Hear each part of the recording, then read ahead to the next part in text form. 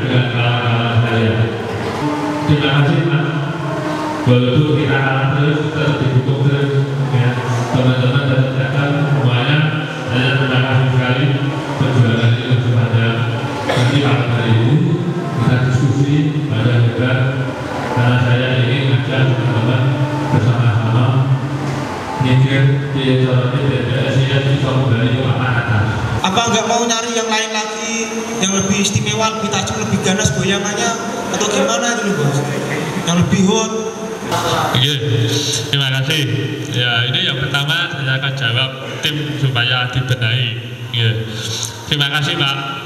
Jadi saya akan cerita dulu sebelum sebelum PSIS ini kick off tanggal bulan Mei kemarin itu sebenarnya kita punya kabar buruk. Jadi ceritanya begini, PSIS itu kita sudah mempersiapkan semuanya. Pemain asing belakang Wales Costa itu nggak murah itu. Bahkan kita rebutan dengan Persija. Kenapa kita menang? Saya karena saya bisa meyakinkan Wales Costa itu bahwa anaknya empat, empat ekor anak plus istri satu datang ke Indonesia dibayari tiket dibayari sekolah Wales Costa. Kenapa saya maksa Wales Costa? Karena saya tahu Wales Costa itu salah satu back pemain belakang terbaik di Indonesia. Lalu tengah saya ngambil Patrick Mota. Patrick Mota itu sebelum diambil kita dia masih main di Brasil jadi bukan pengangguran. Kalau kan banyak pemain yang ke sini itu trial dicoba karena masih nganggur. Kalau Patrick Mota itu enggak bahkan mau pindah ke Semarang saja itu klubnya minta transfer. Karena dia pemain bagus di sana. Kita butuh gelandang bertahan Patrick Mota. Nah itu nggak main-main. Terus Claudir Marini striker. Ini sebenarnya yang kita gadang-gadang dia menjadi penggantinya Bruno Claudir Marini itu saya sebut jauh lebih baik daripada Bruno. Dia itu hanya satu strip. Kalah dengan Immanuel Deporas itu kalah ganteng kalau menurut saya. Tiga pertandingan ini PSIS itu drop. Drop. Seperti mereka itu menjadi konyol. Nyekel bal salah nembak berucut ya melayu tiba kan nyundul. Kena eh rupa-rupa wis pokoknya ala kabeh ana apike ya kena gawang alon bal alon ngedangket malah lebu lah wis ra karo-karuan ini saya nggak ngerti. Lawan Persipura itu puncaknya. Menurut saya bodoh banget. Bodoh banget. Persipura itu levelnya ada di bawah kita. Kamu apa mainnya nah ini. Caranya ngobati. Sebenarnya manajemen sudah melakukan langkah-langkah satu memang harus ada yang bertanggung jawab yaitu Pak Jafri Hastra ini bagaimanapun tetap harus diganti. Karena dia targetnya sebenarnya tidak boleh ada kandang satu pun kali kalah tapi sudah kalah empat kali. Nah setelah diganti sekarang PR kita membuat pemain jadi termotivasi dan percaya diri lagi. Percaya diri. Kalau kan nggak percaya kenapa? Mosok pemainnya sampai orang pede? Saya tak cerita PSIS itu tendangan bebas tendangan penjuru dan lain-lain. Itu sudah diatur. Tapi begitu di lapangan meh tendangan bebasnya sing mani jipuk. Hujat boleh. Maido kudu. Nek elek kudu di maido. Ya kudu di maido. Tapi diukur maido nih menghujat tetap diukur.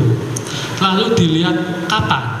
Contoh besok PSIS tanggal 24 main lawan Madura. Saya yakin PSIS dikurung. Wong ketemunya Los Galacticos.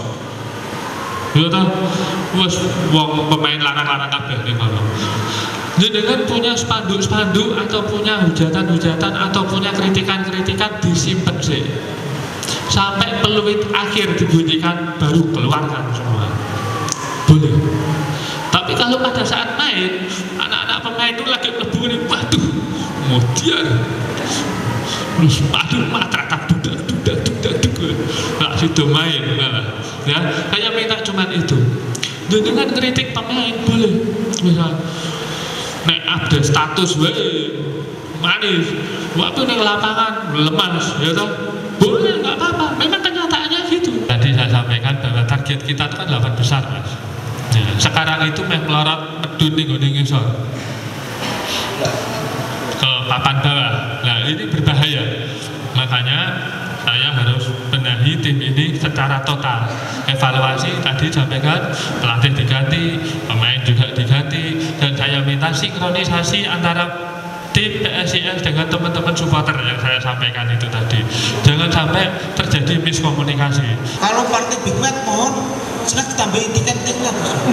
Mohon. Mohon bantuan tambahan tiket kan wah supporter yang setia datang jauh-jauh banyak yang nggak bertikian tiket snack kok bos. Snack biasanya dapat kuota 3.500 Bener tak? Bener tak Mas Didi? Ya, bener tak? Ya. Panser dapat kuota di timur berapa? 4.000 ya. Coba Sisa berapa Mas Anton? 500. Sisa 500 Padahal sponsor di timur mintanya berapa Mas Anton? 800 800 Nah, 800 sampai 1000 Nah, kalau jenengan daluk tambah kuota, saya kurangi yang mana? Saya kurangi panser, panser yang kamu. Saya kurangi sponsor, kurangi sponsor PSIS. Makanya saya ngomong sama Mas Edi, Mas, nek tribune ono, kuwi tak kayak jenengan. Lek ra ono piye aku ngasihnya? Itu loh. Jadi saya nggak bisa memberi itu. Bahkan kemarin lawan Persib, kalau jenengan tahu, itu sponsor itu tak idoli barat, mas. Sponsor masuk barat semua, mas Edi kan ditambahin lagi kan itu kan. Ya tambahin 500. Itu kuota sponsor. Sponsor tak pindah barat. Jadi saya nggak jualan barat. Harusnya saya jualan barat tuh harga 150, tak kasihkan sponsor. Kali saya demi teman-teman supaya ada kuota di situ. Gitu. Ini ini bukan bukan tutup-tutupi kenyataannya kayak gitu. Eh, untuk tiket itu kan kemarin di blok kita yang timur sisi utara kita itu kemarin pas koreo itu belinya kertas itu 3000 mas. Itu tambah ada sisa kertas yang koreo berikutnya itu sekitar 500 itu 3500 ngeblok loh mas.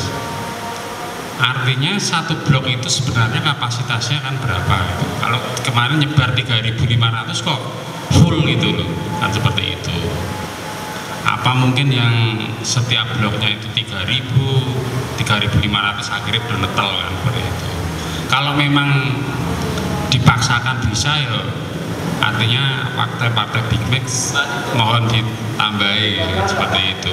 Memang waktu pertandingan yang Mas Edi eh, koreo itu ya Persib itu full full total nggak bisa bergerak sama sekali ya Mas.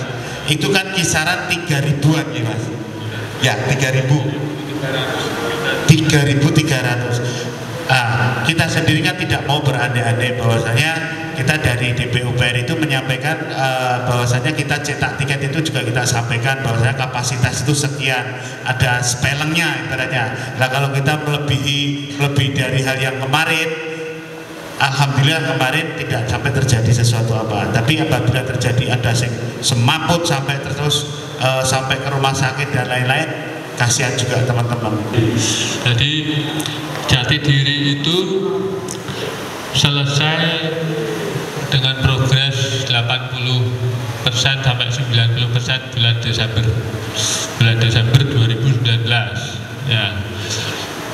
Januari harusnya sudah bisa kita pakai. Tapi belum lengkap. Ya kayak kayak Magelang gitu. Magelang kan sebenarnya kan stadion belum jadi. Nah, sudah matur Pak Gub sudah matur Pak Kepala Dinas. Aku ora urusan Pak. Meh dadi ora dadi. Januari pokoknya mainin gini uh ya wis bu piye carane Mbak misal urung dadi ora ana lampune tak tukoke lampune. Ora ana pintu keluare cek bletok-bletok ora apa-apa tak lemeki deklit wis ben pokoke kudu main kene. Yo wis mau disiapke. Nah حكيم وتقبل منا إنك سميع عليم اللهم إنا نستغفرك ونستهديك دياننا وأنفس وعيادك من كل شيطان مريض. وجبار عنيد وذي عين وذي بغي ومن شر ذي كل شر. وأصحابنا ولمن حبنا فيك ولمن وصلنا إلينا والمؤمنين والمؤمنات khusus untuk pemain-pemain biasa terus semangat satu menang berarti tiga poin terus ya Allah betul atas tunggal penopok-penopok betul atas asma maslahatan kesalahan sedikit pun punoko punoko ya Allah. Pajan barika hampir sedatan berkawasipun ya Allah.